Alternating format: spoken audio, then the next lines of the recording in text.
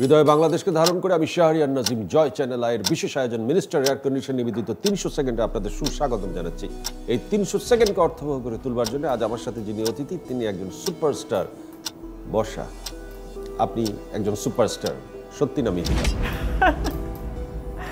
আপনার সন্দেহ আছে? আমার প্রশ্ন অফকোর্স আপনি সুপারস্টার না আপনি স্টার।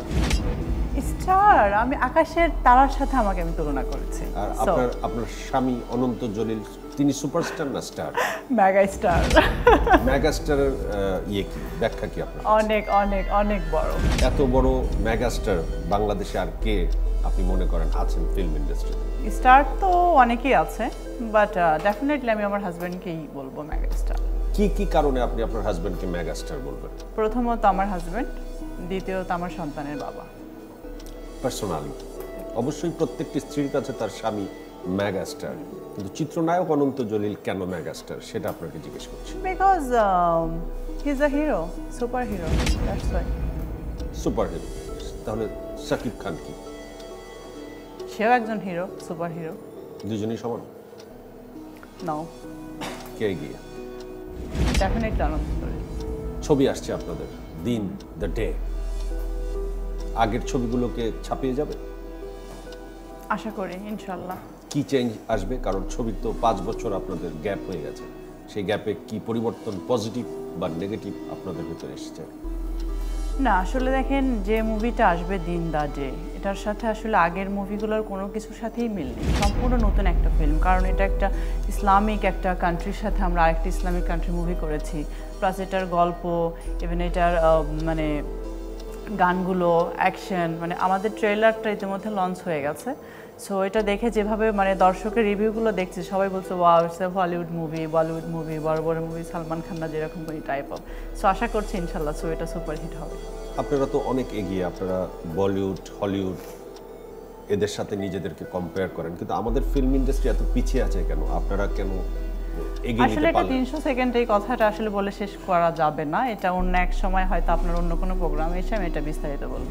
আপনার চোখে এই ইন্ডাস্ট্রির সবচেয়ে সেরা নায়িকা কে? ববিতা ম্যামকে এখনও দেখলে মনে হয় ওয়াও ইজ আ হিরোইন মানে ফারুক স্যারকে দেখলে মনে হয় হি ইজ আ হিরো মানে হিরো হিরোইন বুড়া হয়ে যায় বাট তাদের দেখলে মনে হবে যে ওনারা একজন মানে আর্টিস্ট কিন্তু এখনকার জেনারেশনের আমার কাছে খুব একটা ভালো লাগে না ওই রকম আপনাকে তো আপনার ভালো লাগে। সেটা তো আমি আমি। আমার কথা তো আপনি জিজ্ঞেস করেননি।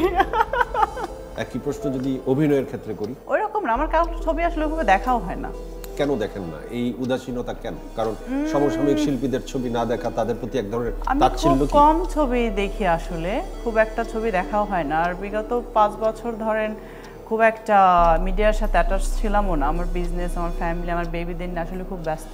সো এর মধ্যে অনেক কিছু হয়ে গেছে। সেইভাবে আসলে সময় করা হয়নি কারোর জন্য। আপনার বাচ্চা ভবিষ্যতে যদি নায়ক বা নায়িকা হতে চায় আপনি হতে দেবেন? তারা তো এটা চাবে না। কেন চাবে না? চাবে না। আমি একজন মা আমার সন্তানদের মা সো আমি আপনি হতে দেবেন না তাদের নায়ক নায়িকা। এত আপনার রাগ কেন নায়ক আমি তো বলিনি রাগ মোটেও না। আমি আজকে রাগি হলে কি আপনার সাথে হেসে কথা বলতাম? সন্তানদের তাহলে কেন আপনি নায়ক নায়িকা বানাবেন না? না। একদম প্রমিস প্রমিস কেমন লাগে যখন নিজেকে একজন ধর্নাঢ্য লোকের স্ত্রী হিসেবে আয়নায় দেখেন এটা আমি কখনোই ভাবি না। কি ভাবেন? কখনোই ভাবি না। মজার কথা কি জানেন?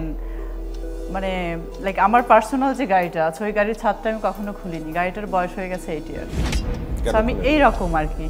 আমার কাছে মনে হয় না। আমার মনে হয় ভেরি সিম্পল আমার আট দশটা মানুষ যেরকম রাস্তাতে হেঁটে যায় রিক্সা করে যায় বাসে করে যায় আমার কাছে নিজেকে এরকমই মনে হয়। মানুষের কোন গুণটি আপনাকে এখনও সবচেয়ে বেশি নাড়া দেয়? ভালোবাসা মন থেকে অবশ্যই। সেই ভালোবাসা যদি এখন নতুন করে কেউ আপনাকে বলে আই লাভ ইউ আপনি কি বলবেন! ভালোবাসা তো অনেক রকম আছে জয় ভাইয়া। কারণ আমিও আপনাকে ভালোবাসি। এখন দেশে অনেক ক্রাইসিস যাচ্ছে। ঘরে মানুষ আছে আপনার কথা শুনে নিশ্চয়ই আনন্দ পাচ্ছে। কিন্তু তারপরও আমরা একটু জানতে চাই যে অসহায় মানুষের জন্য আপনার স্বামী করছে আপনি কি করছেন কি ভাবছেন? অবশ্যই। আমি আমার জায়গা থেকে বেশ মোটামুটি আলহামদুলিল্লাহ খুব ভালো একটা বাজেট করেছি। যে জিনিসটা অলরেডি আমি স্টার্ট করে দিয়েছি সো যখন এটা মানুষকে দিব জানতে পারবেন কিছুটা হলেও। কীরকম বাজেট করেছেন? আসলে আমি বলতে চাই না বেশ ভালো একটা বাজেট করেছি? আলহামদুলিল্লাহ। না পাঁচ কোটি তো আমার নিজেরও নাই এত টাকা। কিন্তু আমরা অনন্ত জলিলকে জানি যে উনি বিশাল ধনী মানুষ। হ্যাঁ অফকোর্স তার অ্যাসেট আছে। তার সবচেয়ে বড় সম্পদ কি? আমি আমার সন্তান।